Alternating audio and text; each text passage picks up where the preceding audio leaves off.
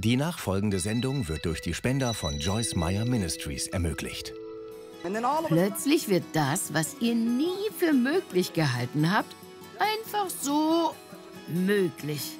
Wow, ich kann den Felsen bewegen. Schau her, Teufel. Schau genau hin, was ich hier mache.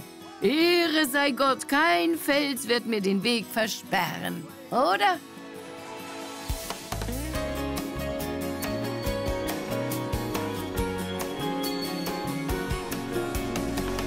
Vater, wir danken dir für dein Wort. Danke für die Heilungen, die wir erleben, für die Ermutigung durch den wunderbaren Lobpreis und für die Berichte, die wir gehört haben. Und nun danken wir dir für dein Wort in Jesu Namen. Amen. Etliche von ihnen aber sprachen, konnte der, welcher dem Blinden die Augen geöffnet hat, nicht dafür sorgen, dass auch dieser nicht gestorben wäre? Sie meinten Lazarus, mit dem Jesus eng befreundet war. Jesus besuchte die drei Geschwister Maria, Martha und Lazarus häufig und aß gemeinsam mit ihnen. Jesus hatte schon viele Wunder vor ihren Augen getan, aber nun hatte er seinen guten Freund Lazarus einfach sterben lassen. Jesus nun, indem er wieder bei sich selbst seufzte, indem er wieder bei sich selbst seufzte, hier wollen wir einmal innehalten. Warum seufzte Jesus und war tief in seinem Inneren betroffen von dem, was sie sagten?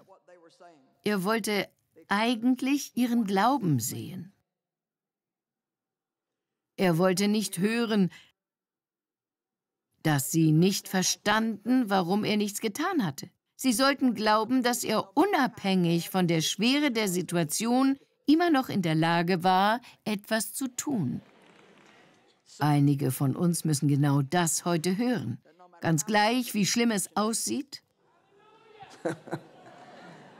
Gott möchte, dass ihr ihm vertraut, denn er kann sehr wohl immer noch etwas tun. Ohne Glauben ist es unmöglich, Gott zu gefallen. Wir haben schon darüber gesprochen, wie Glaube freigesetzt wird. Es ist eine Sache, Glauben zu haben, doch eine völlig andere, ihn auch zu aktivieren. Glauben haben ist das eine, ihn auch anwenden das andere.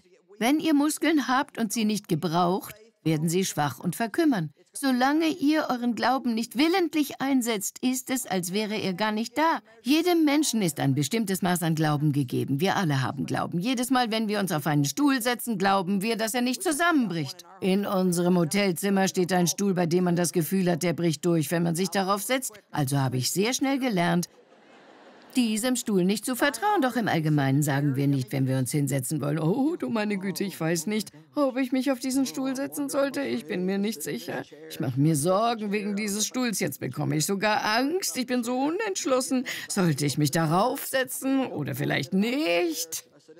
Oh, ihr lasst euch einfach darauf fallen. Ich wünsche mir, dass wir uns genauso in Jesu Arme fallen lassen, wenn wir ein Problem haben und sagen, ich bitte dich, nimm dich dieser Sache an. Ich glaube, dass du es tun wirst. Ich aktiviere meinen Glauben durch meine Gebete. Ich spreche deine Verheißungen aus. Ich tue das, was du mir aufträgst, und du wirst alles andere erledigen. Ich möchte euch heute etwas sagen und hoffe, dass ihr es nie wieder vergesst. Wenn ihr das tut, was ihr tun könnt, wird Gott tun, was ihr nicht tun könnt. In einer der letzten Veranstaltungen erzählte eine Frau hier von ihrer furchtbaren Notlage. Sie war unvorstellbar verzweifelt gewesen. Es hatte sich herausgestellt, dass ihr Mann pornografiesüchtig war. Er verließ sie fünf Tage, bevor das gemeinsame Kind zur Welt kam. Sie, eine Frau, die in ihrer Gemeinde engagiert mitarbeitete, hatte keinerlei Einkommen. Sie kam zu einer meiner Konferenzen, hatte alles Geld dafür zusammengekratzt und nun sagte Gott ihr, sie solle Missionspartner bei uns werden. Sie dachte, das kann nicht dein Ernst sein. Sie fing an mit circa fünf Dollar im Monat, glaube ich. Und das war ein Kraftakt. Das war das Geld für die Windeln. Aber sie gab nicht auf und glaubte weiter an Gott und vertraute ihm. Warum war es so wichtig für sie, in dieser verzweifelten Lage etwas zu geben? Weil das eine Möglichkeit ist, Glauben freizusetzen. Um Glauben zu aktivieren, müssen wir handeln. Wer betet, sollte gleichzeitig Glauben investieren. Wer gibt, sollte dies ebenfalls im Glauben tun. Was ihr redet, muss mit eurem Gebet übereinstimmen. Es nützt nichts zu beten, oh Gott, ich bete in Jesu Namen, dass du meinen Mann vom Trinken befreist und ihn rettest. Verändere ihn, Herr, und heile unsere Ehe. Amen, Amen, Amen. Und am nächsten Tag im Gespräch mit Schwester Susanne zu sagen, weißt du was, mein Mann wird sich nicht ändern. Ich bin es so leid, immer ist er betrunken, er wird sich nie zu Jesus bekehren, es ist hoffnungslos. Zu Hause seid ihr dann wieder vom Oh Herr, ich bitte dich, verändere meinen Mann. So läuft das doch, ihr müsst mir da nichts vormachen. Wir haben eine Menge religiöser Rituale auf Lager. Ich glaube, wir beten manchmal so fromm daher, damit wir uns selbst für geistlich halten können. Vielleicht sollten wir weniger reden, aber jedes Wort meinen und unseren Glauben aktivieren. Das bedeutet, betet voller Glauben und haltet daran fest, versteht ihr? Wenn ihr im Glauben betet, müsst ihr auch in schwierigen Situationen glaubensvoll bleiben. Haltet auch in dunklen Zeiten am Glauben fest. Lazarus war also gestorben. Es betrübte die Schwestern, dass er gestorben war. Obwohl sie Jesus rechtzeitig über Lazarus Krankheit informiert hatten und dieser dennoch zwei Tage verstreichen ließ, bevor er sich auf den Weg machte. Er hatte also gewartet, um ihn sterben zu lassen. Wenn du hier gewesen wärst. Ihr versteht es einfach nicht.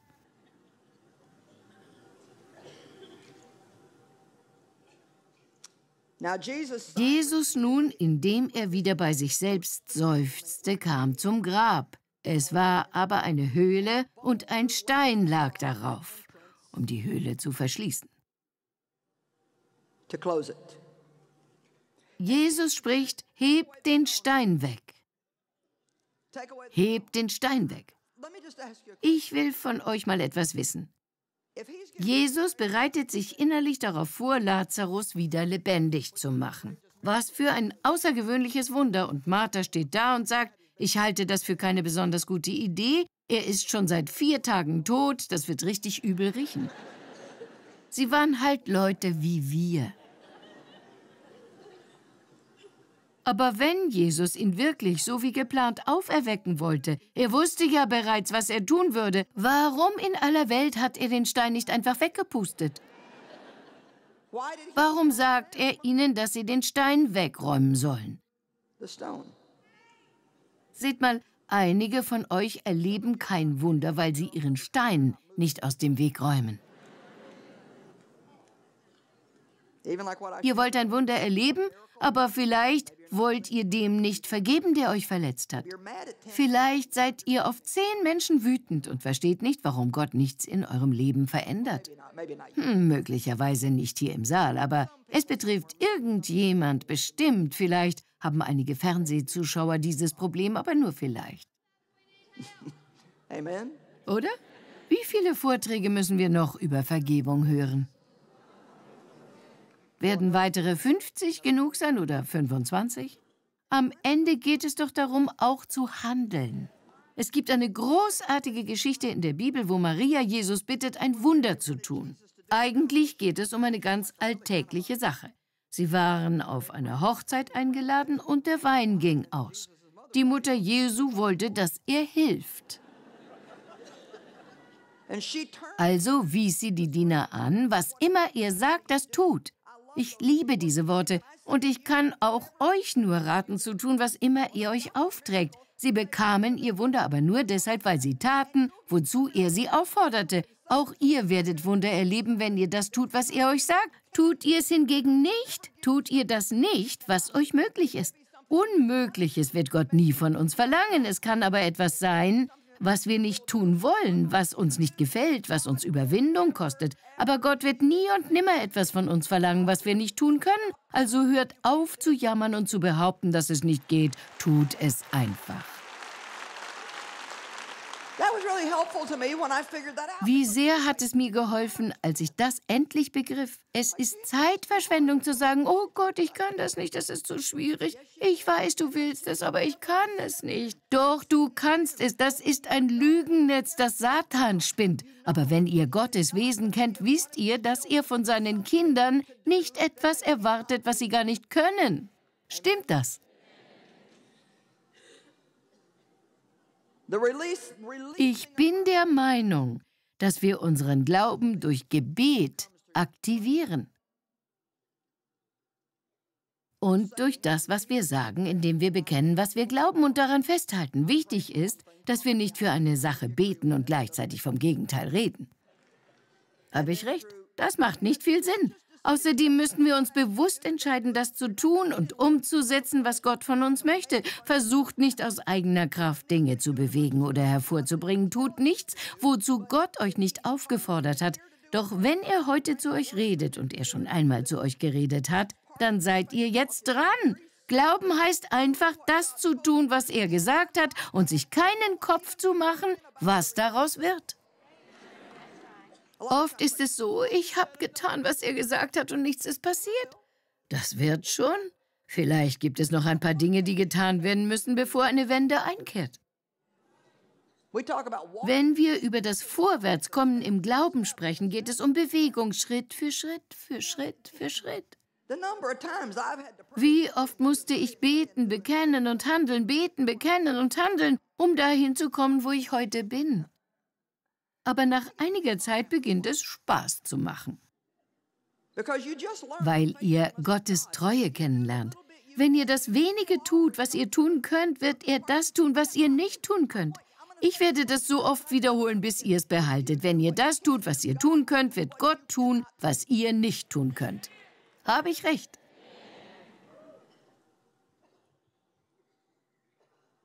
Ich hoffe, ihr gehört nicht zu den Leuten, die inzwischen so matt geworden sind, dass sie nicht mal mehr Amen sagen können. Wisst ihr was? Das Christentum ist keine passive Religion. Wir sitzen nicht herum, wünschen uns was und lassen Gott dafür zuständig sein, uns glücklich zu machen. Jesus spricht, hebt den Stein weg.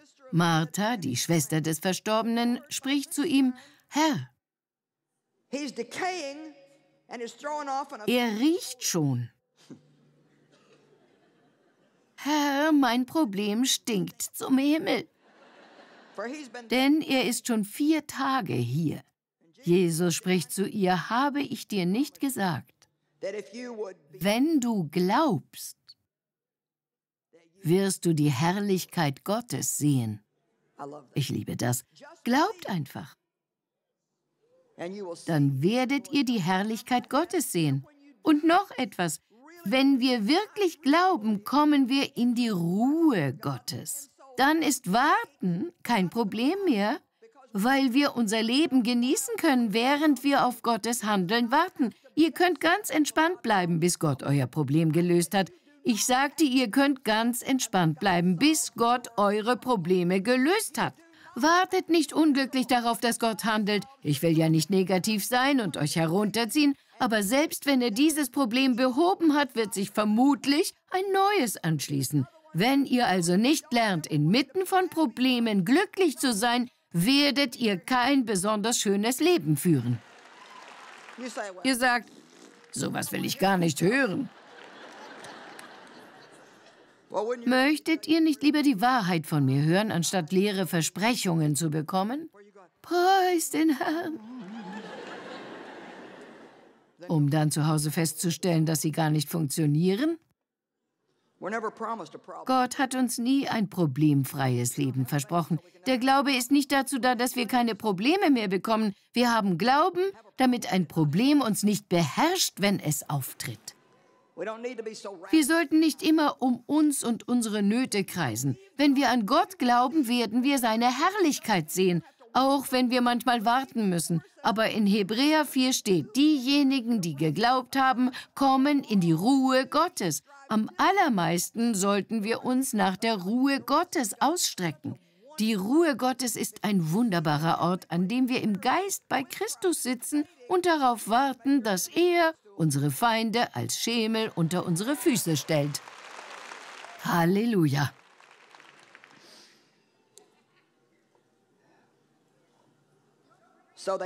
Da hoben sie den Stein weg, wo der Verstorbene lag. Jesus aber hob die Augen empor und sprach, Vater, ich danke dir, dass du mich erhört hast.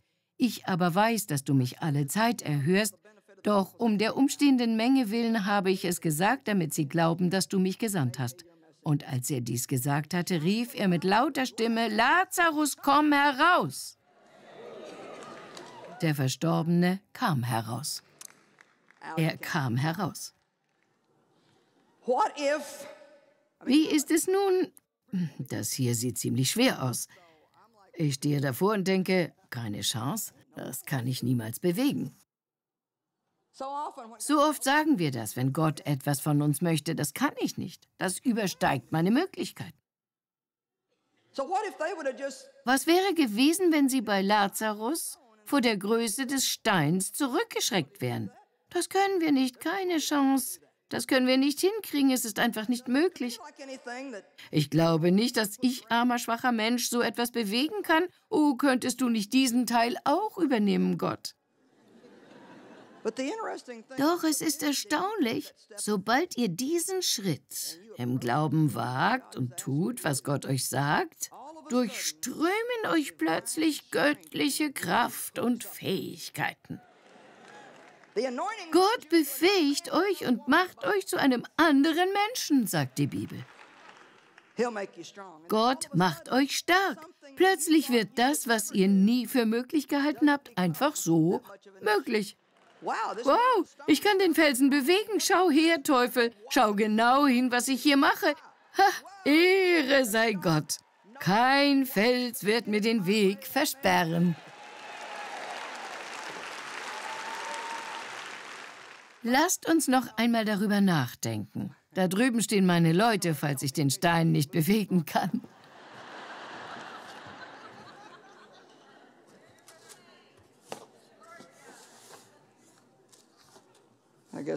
Die schöne Seite nach vorn, finde ich. Ist ja fürs Fernsehen.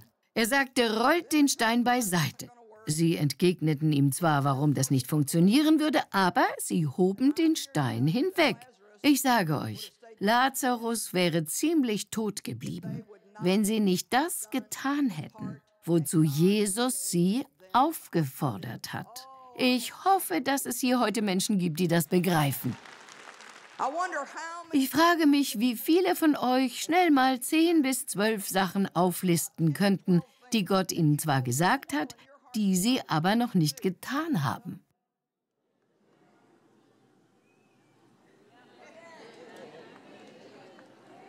Vielleicht bittet ihr Gott um ein neues Haus und er sagt, räum erst mal das alte auf. Wow, das sitzt.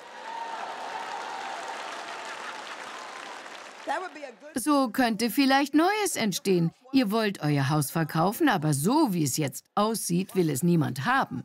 Während ihr darauf wartet, dass Gott euch ein neues Haus gibt, bringt euer jetziges in Ordnung, damit jemand es kaufen möchte und ihr ein anderes haben könnt. Vielleicht wünscht ihr euch ein neues Auto, aber euer altes ist voller Müll und leerer Dosen. Hinten steht drauf, wasch mich. Na los, wascht es.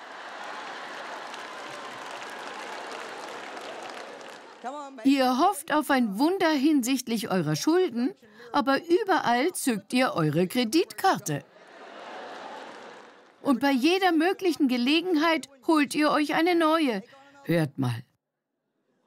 Ihr müsst ein paar Steine wegrollen. Ich sage euch, Gott ist treu. Was er für einen Menschen tut, wird er für jeden tun, der seinen Richtlinien folgt.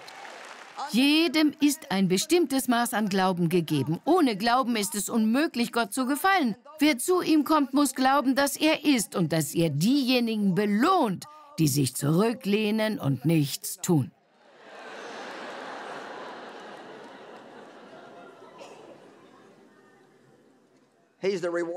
Er belohnt diejenigen, die ihn aufrichtig suchen. Die ihn aufrichtig suchen. Hört mal, Wunder sind etwas Großartiges. Aber ich würde euch einen schlechten Dienst erweisen, wenn ich zu euch sagen würde, lehnt euch einfach zurück, meine Lieben, und wartet auf Gott und glaubt an euer Wunder. Ihr müsst die Steine wegrollen. Gott wird seinen Teil tun, aber ihr seid für euren zuständig. Meiner Meinung nach aktivieren wir unseren Glauben, indem wir beten, es bekennen und das tun, was Gott uns aufträgt. Lasst uns Matthäus 7, Verse 7 bis 8 lesen. Ihr sagt, ich habe es so satt, immer wieder wegen dieser Sache zu beten. Ja, das verstehe ich. Ich kenne das auch. Aber dann fällt mir Matthäus 7 ein. Bittet und es wird euch gegeben werden, sucht und ihr werdet finden, klopft an und es wird euch geöffnet werden. Denn jeder Bittende empfängt und der Suchende findet und dem Anklopfenden wird geöffnet werden. Ihr müsst dranbleiben, dranbleiben und nochmals dranbleiben. Einige von euch, die jetzt zuhören, ob hier im Saal oder vor dem Fernsehapparat oder sonst irgendwo, sind kurz davor aufzugeben. Ich sage euch, ihr habt kein Recht dazu. Gebt nicht auf, bleibt dran und sagt jeden Tag, ich gebe nicht auf, niemals. Und wenn ich selbst dann noch keine Wende in meinem Leben erlebt habe, wenn Jesus wiederkommt, wird er mich als jemanden vorfinden, der ihn aufrichtig gesucht und durchgehalten hat. Wir müssen aufhören, Gott ein Ultimatum zu stellen, also wenn ich nicht innerhalb einer Woche eine Antwort erhalte. Wenn du nichts unternimmst, glaube ich nicht, dass ich das noch viel länger aushalte. Gott wird euch nie mehr zumuten, als ihr tragen könnt. Aber in jeder Versuchung hält ihr einen Ausweg bereit. Und ihr habt vielleicht gerade ein Problem und denkt, ich kann das nicht noch ein weiteres Jahr ertragen. Wenn ihr es aber ein weiteres Jahr ertragen sollt, wird Gott euch die Fähigkeit dazu geben. Wenn das nochmal passiert, halte ich das nicht aus. Wenn es nochmal passiert, wird Gott euch befähigen, damit klarzukommen. Gott ist treu. Also Römer 8, Vers 28 ist eine häufig zitierte Bibelstelle, die ich sehr liebe, aber ehrlich gesagt habe ich sie erst in den letzten zwei Jahren so einigermaßen begriffen. Ich habe immer irgendwie daran geglaubt, aber wir sind manchmal sehr langsam darin, Dinge wirklich zu verstehen. Eigentlich beginnt es schon in Vers 26. Da wird davon erzählt, dass der Heilige Geist durch uns betet, wenn wir nicht wissen, was wir sagen sollen. Wisst ihr, wenn man ein großes Problem hat, weiß man manchmal nicht, wie man beten soll. Dann verlassen wir uns auf den Heiligen Geist, dass er durch uns das richtige Gebet spricht. Und dann heißt es im Römerbrief weiter, dass uns alle Dinge zum Besten dienen. Alle Dinge. Alle Dinge. Alle Dinge. Wenn in der Bibel alles steht, sollte uns das nicht entgehen. Wir wissen aber, dass denen, die Gott lieben, alle Dinge zum Besten dienen, denen, die nach dem Vorsatz berufen sind. Aber davor wird vom Beten gesprochen. Wenn wir ein Problem haben und beten, aktivieren wir unseren Glauben. Während der Glaube anfängt zu wirken, halten wir an unserem Bekenntnis fest. Jedes Mal, wenn der Teufel sagt, du wirst es nicht kriegen, sagt ihr, es ist schon unterwegs. Er sagt, das wird nichts werden und ihr sagt, wart's nur ab, es ist bald da. Vielleicht heute schon. Hurra! Ihr könnt den Teufel damit richtig fertig machen. Es ist bald da, es ist bald da, es ist bald da. Heute kommt was Gutes, ja. Ich bete, Gott handelt. Ich bete, Gott handelt. Nicht, Gott, warum tust du nichts? Nein, ich bete und Gott handelt. Danke, Gott, dass du die Sache in die Hand nimmst. Danke, dass du am Wirken bist. Danke, dass du handelst. Deine heilende Kraft wirkt jetzt in mir. Es geht mir jeden Tag besser in jedem Lebensbereich. Wenn ihr zur Arbeit geht, sagt nicht, Gott, hilf mir, einen Job zu kriegen. Ich werde nie einen finden. Nein, geht los und sucht euch einen, und zwar täglich. Jeden Tag? Seid fleißig, tut euren Teil. Gott hält einen Job für euch bereit, aber ihr müsst euch aufmachen und danach suchen.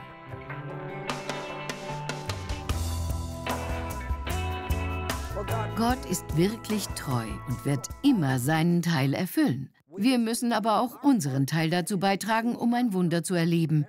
Jesus brachte Lazarus ins Leben zurück, aber die Leute mussten den Stein wegrollen. Sie taten ihren Teil, er seinen.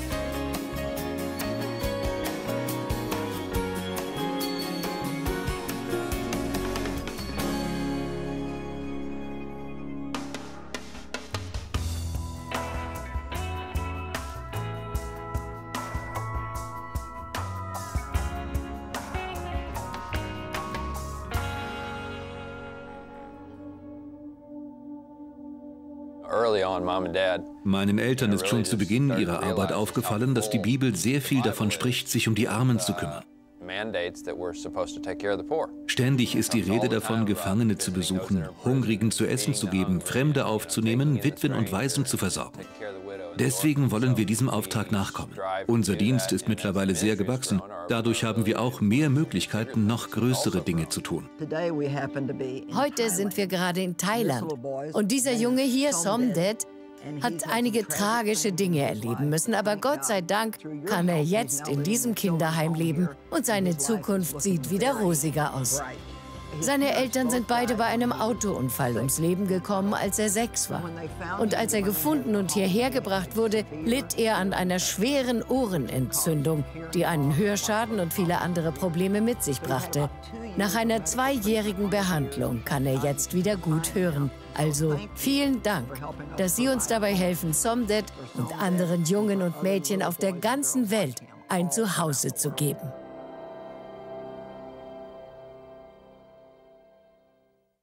Joyce Meyer, die macht doch nur eine Fernsehsendung.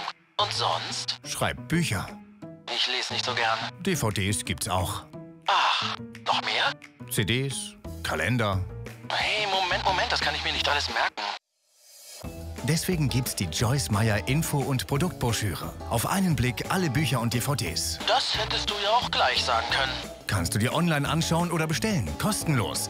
Und was es sonst noch alles von Joyce gibt. Magazin, tägliche E-Mail-Andacht, Facebook-Impulse. Nicht schlecht. Bestellen auch Sie jetzt kostenlos die Joyce Meyer Info- und Produktbroschüre unter joyce-meyer.de slash Broschüre oder telefonisch unter 040 88 88 41111. Super.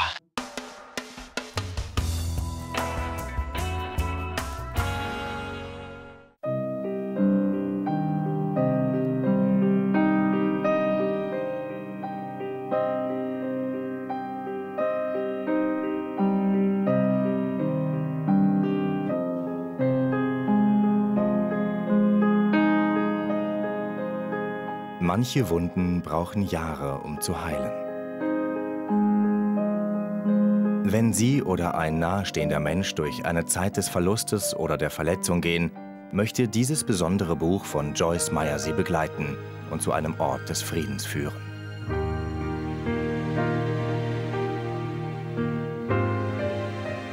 Bestellen Sie Heilung für zerbrochene Herzen und erfahren Sie die schöpferische Kraft aus Gottes Wort. Rufen Sie uns an unter 040 88 88 411 11 oder besuchen Sie uns im Internet auf joyce-meyer.de.